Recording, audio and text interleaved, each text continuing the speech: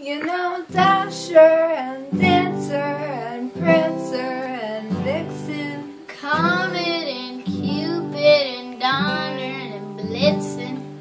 But do you recall The most famous reindeer of them all.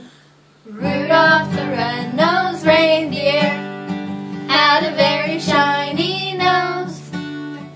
And if you ever it, you would even say it glowed Like a light bulb. All of the other reindeer used to laugh and call him names like Pinocchio. they never, Never let poor Rudolph join in any reindeer games. Like football. Then one foggy Christmas Eve, Santa came to say, Ho, ho, ho.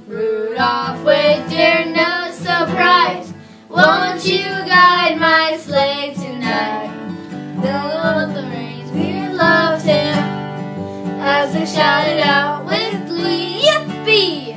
Rudolph the red-nosed reindeer, you'll go down in history.